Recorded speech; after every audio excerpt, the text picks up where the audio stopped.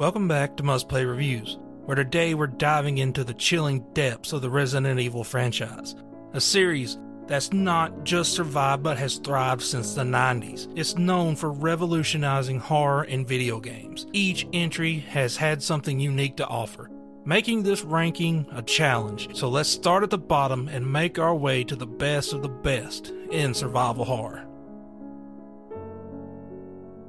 Starting off the list in last place is Resident Evil 6. When this is the worst of your mainline entries, that's an incredible track record. RE6 was very different at every level. It is more of an action game. One of the more unique things about the game is that you have four separate campaigns that all intertwine at certain points, but each one is very distinct from the other one. Leon's campaign is more of a zombie shooter. Chris's campaign is more of an action packed, special forces style game. Jake and Sherry's campaign gives you the more run away from the big bad like you would have done in past games. And then there's Ada's campaign, which is a blend of all the others.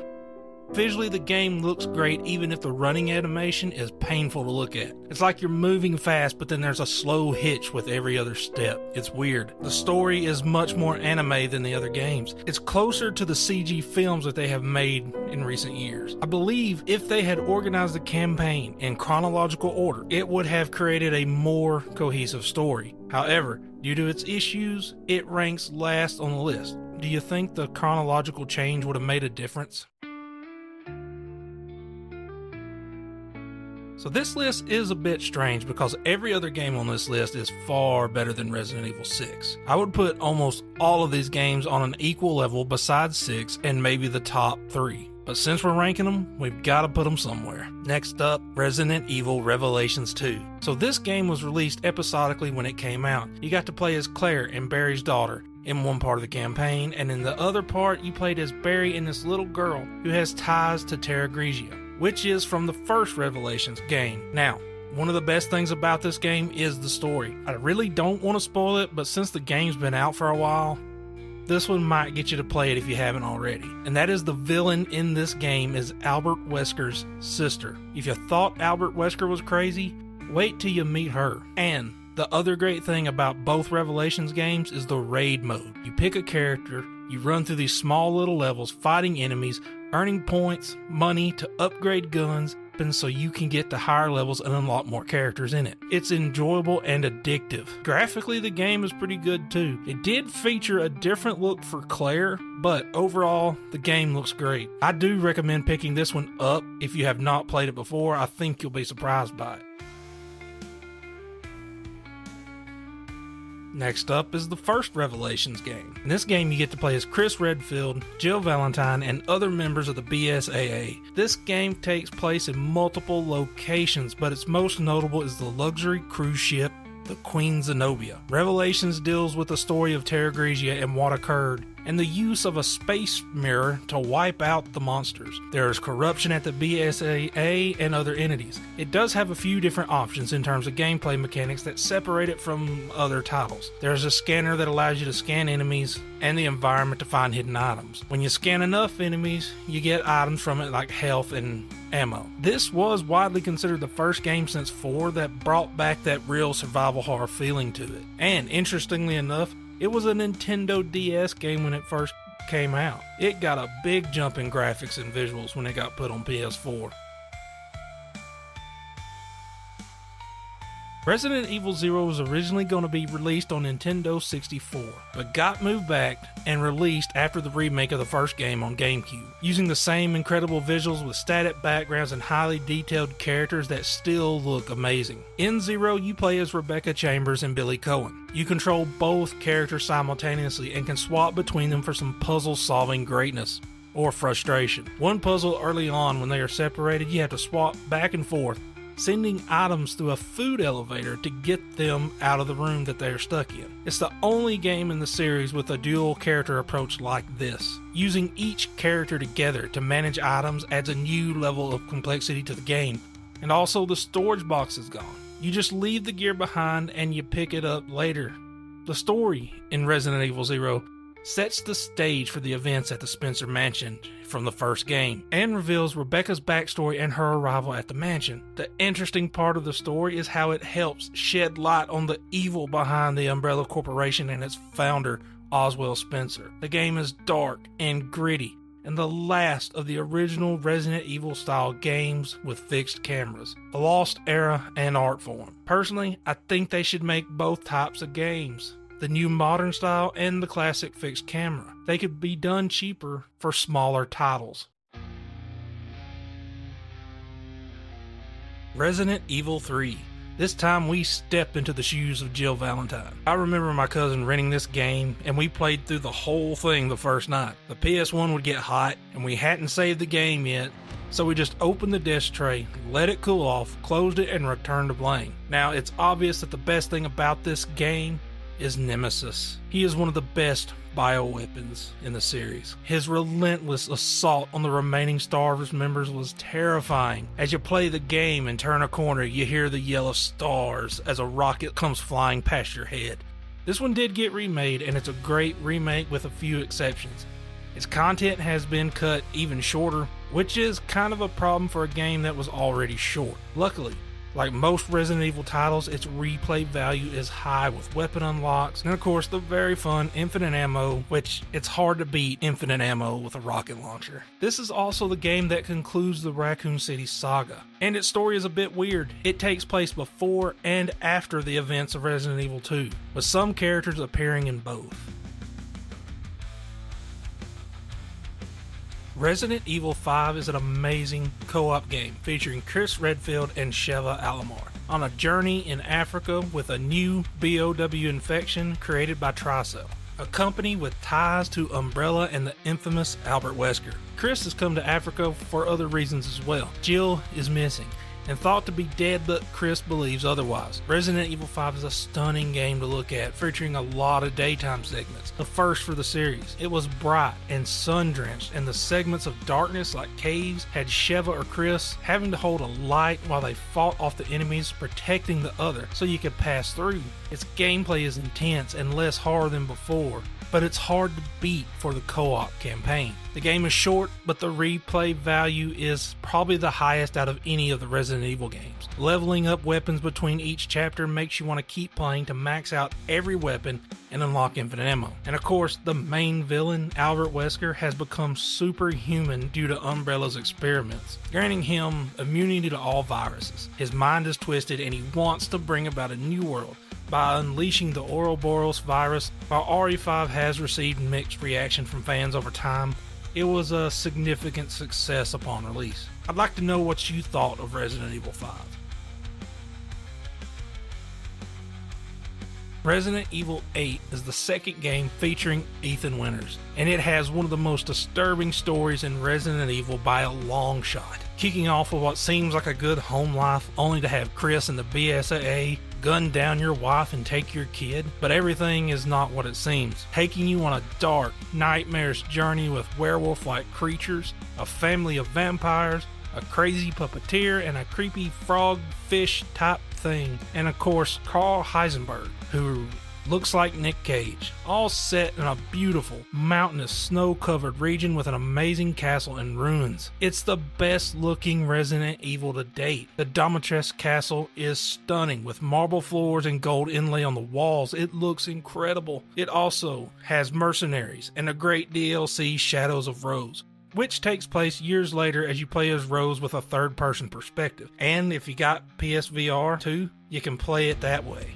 Capcom patched in a third person mode for the base game. These are great extras that do deserve a bit of praise even though they weren't there to start with. RE8 also brought back the weapon leveling from 4 and 5, using money collected from treasures that you find to increase firepower and other stats, increasing the replay value.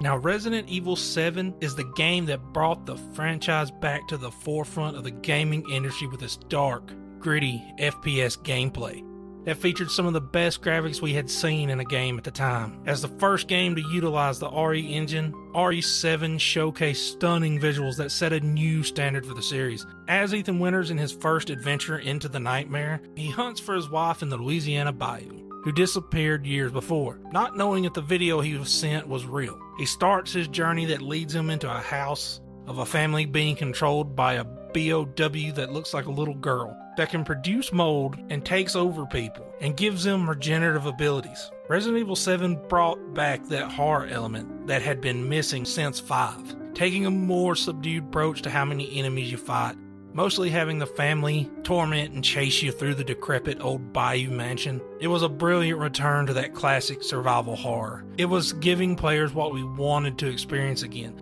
that fear of not knowing what was around the corner, up the stairs, or just lurking in the shadows. Now we have the game that started it all Resident Evil 1. This game had three separate releases just on PS1. And because that wasn't enough, we then got the incredible, stunning remake on GameCube that still holds its own today with its visuals, lighting, and character models. It looks incredible, capturing that CG look at the time. We did lose most of the cheesiness of the voice acting though, but some of it still remains. It also introduced a new mechanic with the zombies, Crimson Heads. These guys are a pain. Once you kill a zombie, it has a chance to return, but if you don't burn the body, they come back faster, stronger than before, and they will even chase you through sections of the manor going through doors which never happened before. The puzzle designs are still masterful. It's not a collection of single puzzles like most games. The whole mansion is the puzzle. It's truly a lost art in game design. It even had two different characters to play Jill and Chris. Chris is the harder version of the game, while Jill is a bit easier with more inventory slots and a lockpick. This game, being the first introduction of Resident Evil in the Umbrella Corporation, has a special place among fans. Code Veronica X was the first game in the series to go full 3D, launching on the Dreamcast. It was a visual masterpiece at the time with real time lighting, lighting up the environment, and casting shadows. At that time, it was something rare to see in games. This is also the second time we got to step into the shoes of Claire Redfield, who gets captured while breaking into an umbrella building searching for her brother Chris. And this is also the first time we get to return to playing as Chris since the first game. And of course, it also sees the return of Albert Wesker, new and improved. The cheese factor is here in this game, mostly coming from Steve, the prisoner on the island that Claire meets. Then there are the Ashfords, Alfred and Alexa, and the story gets strange taking some twists and turns that you just would not expect. Code Veronica sits high on the list with its deep story and great puzzles. It's a masterpiece, but the only way to play it right now is on Xbox through backwards compatibility or the PS3 streaming. This game needs a remake, and from some reports, it's coming and I can't wait. Resident Evil 2 is the game that gave us Leon, Claire, and Ada Wong. With multiple playthroughs, different endings, this game was unique on PS1. With multiple playthroughs, different ending, and one character's playthrough could affect the others. It was such a big game at the time, coming on two separate discs. Leon, by far, has to have the worst first day on a job ever.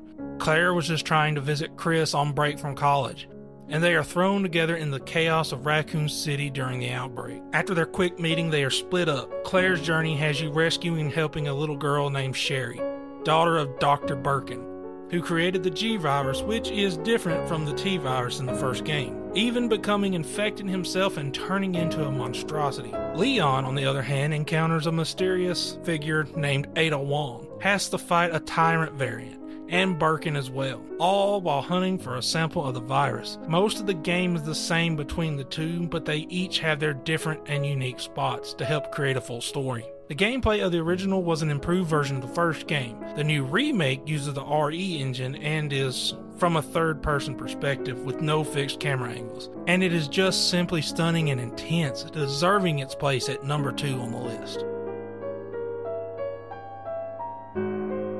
And finally, at number 1, Resident Evil 4.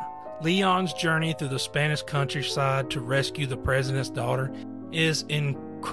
Launching as an exclusive for GameCube and the reason I bought a GameCube, while most people think this is the first use of the over the shoulder perspective in Resident Evil, It's not. That goes to Dead Aim. The difference between the two, though, is that Dead Aim was a light gun game that switched to a FPS camera for combat. Resident Evil 4 doesn't do that. And in the original, you had a sight for a laser, no crosshairs, making aiming more difficult but more fun. Now, I love both versions of the game. The remake is a bit different at times, removing the QTEs and opting for more player control and some slight adjustments to the story and level design, which makes the game flow better and works more with the Ada Wong's DLC in terms of story. But without a doubt, encountering the giant controlled by the parasite or the giant salamander in the lake are unforgettable moments, mixing fear with the thrill of victory. It's a rush from start to finish. What more can I say about Resident Evil 4? It's legendary. It's at the top of the list for a reason. It changed survival horror and made it even more popular than before. It refreshed the franchise and set a new standard in real time visuals. It was a revolutionary title